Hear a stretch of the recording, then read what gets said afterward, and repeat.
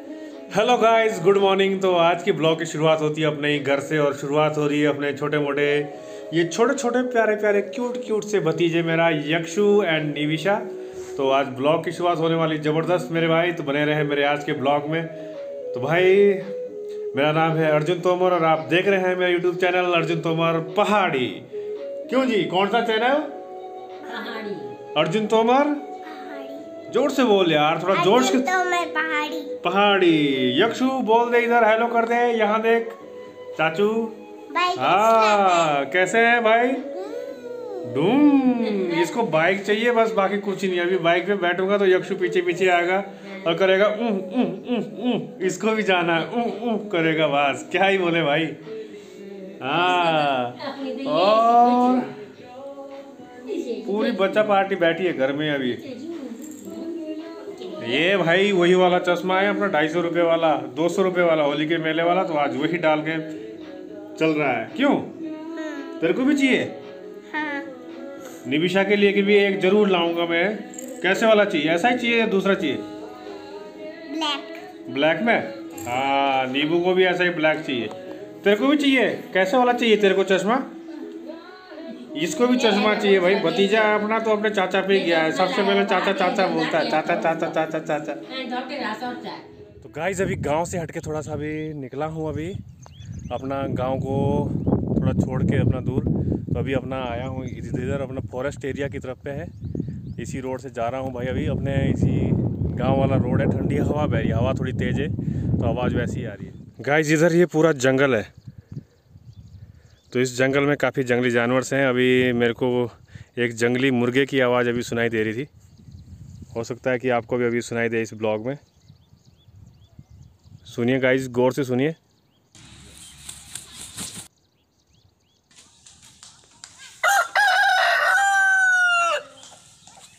ये देखिए गाइस जंगली मुर्गा कहीं, यहीं कहीं है, अपने आसपास ही है। ये पूरा अपना फॉरेस्ट एरिया है भाई। इसी जंगल में बहुत बार मैं अपने लकड़ी घास के लिए गया हूँ और काफ़ी जाता रहता हूँ जंगल में भी।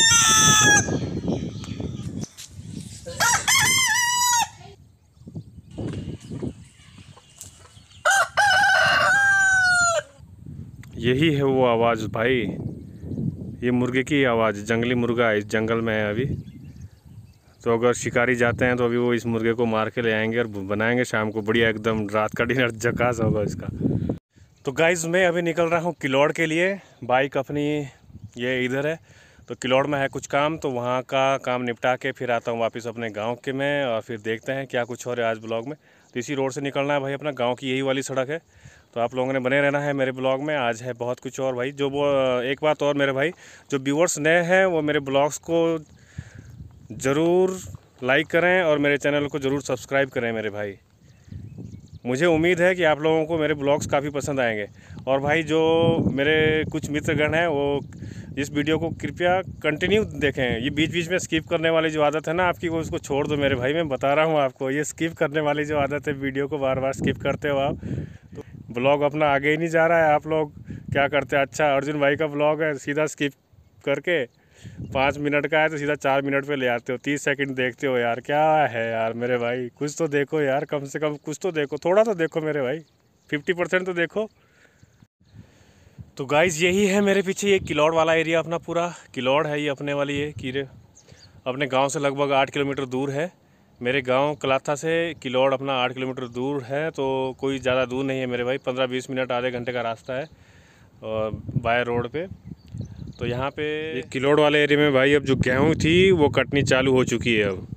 क्योंकि इधर थोड़ा ज़्यादा गर्मी रहती है, गर्म है, ये थोड़ा डाउन है, पहाड़ में से थोड़ा हटके है ये वाला एरिया। तो यहाँ पे गेहूँ लगभग कटनी स्टार्ट हो चुकी है और कई भाई लोगों ने तो यहाँ पे निकाली भी है गेहूँ, ये देख देखिए आप। जो बीच बीच में स्पॉट दिख रहे हैं, यहाँ पे कई अपने जो किसान भाई है, उन्होंने गेहूँ निकाल भी लिए अभी। तो चलते हैं भाई अब इसी रोड से वापस अपने गाँव की ओर, कलाता की ओर। बाकी ये सामने वही उत्तराखंड के पहाड़ और ये टोंस नदी और ये दूर दूर का नज़ारा ही कुछ और है। गाइस तो किलौर से तो आ चुका हूँ मैं अभी। तो थोड़ी देर बैठा हूँ एक ऐसी जगह पे जो अपना गाँव से थोड़ा हटके और एक सड़क किनारे है, लेकिन जो पहाड़ों के जो रोड है ना मेरे भाई, वो कुछ और ही है। कुछ नेक्स्ट लेवल तक ही है मेरे भाई। और ख़ासकर जो अपने गाँव का रोड है, वो भी कुछ एक नेक्स्ट लेवल तक ही है मेरे भाई। काफ़ी ख़तरनाक रोड है मेरे भाई। आप लोग देखेंगे तो आप लोगों को लगेगा कि भाई पहाड़ में एक तो कच्चा रोड है और दूसरा फिर ये बाइक पीछे खड़ी है। बाइक पे चलना बस बहुत आफत का काम है मेरे भाई। और साथ में इतनी बड़ी बड़ी गहराई है ना कि भाई पूछो ही मत, सीधी टॉस नदी दिखती है मेरे भाई। आप देख सकते हैं ये मेरे पीछे ये रोड है मेरे भाई और ये ऊपर को कितना ख़तरनाक वाला पहाड़ है, टूटा हुआ। लैंडस्लाइड भी होता है बारिश के टाइम पे तो बहुत ही ख़तरनाक ये बेकार है मेरे भाई, बारिश। यही सड़क है मेरे भाई, मेरे गाँव की, जो निकल रही है मेरे भाई। ना तो इस पर कोई अभी पैराफिट वगैरह लगा हुआ है और ये ऊपर को भी आप देख सकते हैं कैसा है। और जो नीचे वाला नज़ारा है वो कुछ और ही है। ये देखिए गाइज़ सीधी यहाँ से टॉस दिख रही है।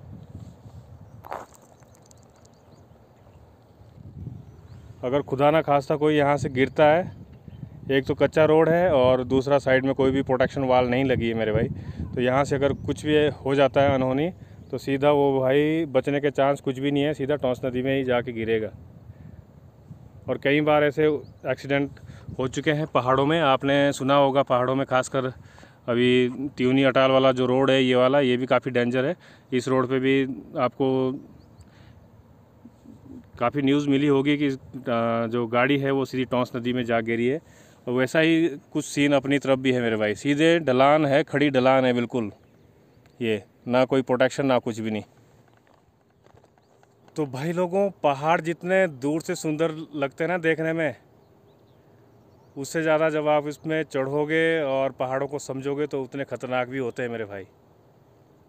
इन पहाड़ों पे चढ़ना और चलना बहुत मुसीबत का काम है मेरे भाई। तो जो भी भाई लोग अपने इस वीडियो को देख रहे हैं, वो लाइक करें कमेंट करें और शेयर करना ना भूलें मेरे भाई। और जो नए हैं, वो सब्सक्राइब चैनल को ज़रूर करें। अर्जुन तोमर पहाड़ी। दोपहर का टाइम हो चुका है भाई तो जो बकरियाँ थी जंगल चुगने के लिए गई थी, वो भी अपना घर निकल रही है और बैल भी साथ में अपने घर की, गाँव की ओर चल पड़े अपना वापस। दोपहर हो चुकी है ज़्यादा।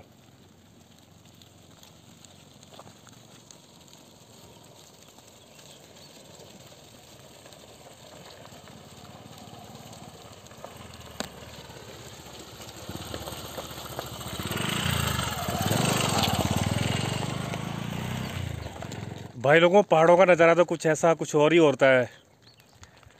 क्योंकि ये तो डेली रूटीन में आता है भाई, किसी के पास बकरियाँ हैं, किसी के पास बैल है, गाय है, भैंस है तो पहाड़ों में, हर घर में आपको कोई ना कोई पशुधन मिलेगा ही मिलेगा।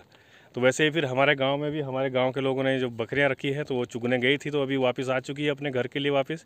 क्योंकि दोपहर है तो प्यास लग चुकी है इनको, फिर अब आएगी और फिर शाम के टाइम फिर थोड़ा जैसे ही मौसम थोड़ा और ठंडा होता है तो वैसे ही फिर से इनको चुगने के लिए खोल देंगे।